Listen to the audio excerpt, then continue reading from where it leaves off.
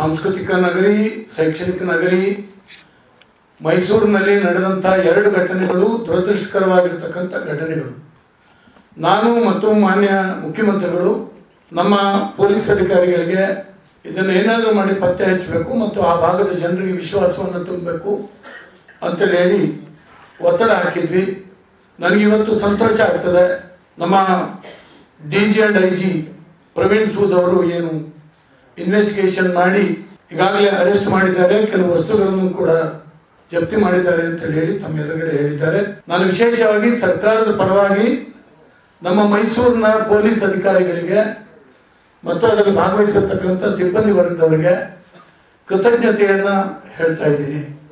ಹಾಗೆಯೇ ಇನ್ನಷ್ಟು ಅದರಲ್ಲಿ ಪೂರ್ಣ ಎವಿಡೆನ್ಸು ಇದು ಬರಲಿ. ಆ ಕೇಸ್ನಲ್ಲಿ ಸರಿಯಾದಂಥ ಶಿಕ್ಷೆ ಆಗಲಿ ಅಂತ ಹೇಳಿ ನಾನು ಈ ಸಂದರ್ಭದಲ್ಲಿ ಹಾರೈಸ್ತೀನಿ ಮತ್ತು ಆ ಕೇಸ್ನಲ್ಲಿ ಹಿಂದೆ ಬಿಡಬೇಕು. ಚಾರ್ಜ್ ಶೀಟ್ ಸಬ್ಮಿಟ್ ಮಾಡಬೇಕು ಮತ್ತು ಕೇಸ್ನಲ್ಲಿ ಕನ್ವಿಕ್ಷನ್ ತಗೊಳ್ಬೇಕು ಅಂತ ಹೇಳಿ ಕೂಡ ನಾನು ಈ ಸಂದರ್ಭದಲ್ಲಿ ಪೊಲೀಸ್ ಅಧಿಕಾರಿಗಳಿಗೆ ಹೇಳ್ತಾ ಇದ್ದೀನಿ. ಇನ್ನೊಂದು ಕೇಸ್ ಏನಿದೆ? ಅದನ್ನು ನಾನು ಉದ್ದ ಬೆಳೆಸ್ಲಿಕ್ಕೆ ಹೋಗೋದಿಲ್ಲ ಇನ್ವೆಸ್ಟಿಗೇಷನ್ಗೆ ತೊಂದರೆ ಆಗ್ತದೆ. ಈ ಹಿನ್ನೆಲೆಯಲ್ಲಿ ಅದನ್ನು ಕೂಡ ಇದೇ ರೀತಿ ತಮ್ಮನ್ನೆಲ್ಲ ಕರೆದು ಪ್ರಕಟ ಮಾಡ್ತೇವೆ. ಸದ್ಯದಲ್ಲೇ ಅದು ಕೂಡ ಪತ್ತೆ ಆಗ್ತದೆ ಅಂತ ಹೇಳಿ ನಾನು ನಂಬಿದ್ದೇನೆ ನಮ್ಮ ಪೊಲೀಸ್ ಅಧಿಕಾರಿಗಳ ಮೇಲೆ.